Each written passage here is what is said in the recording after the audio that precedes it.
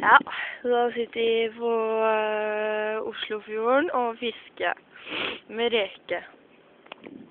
Det her er jo koselig, da. Der borte står uh, Espen og Niklas, og der er Jonas. Ja. Ja. Jonas! Hei. Hei, Espen. Hei. Du får bli Og så Åh! Nei, Norge.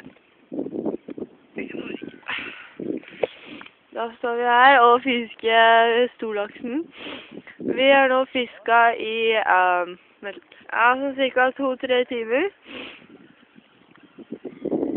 Så ikke fått én eneste fisk. Det er hyggelig. Veldig hyggelig. Mm. Ja, ja.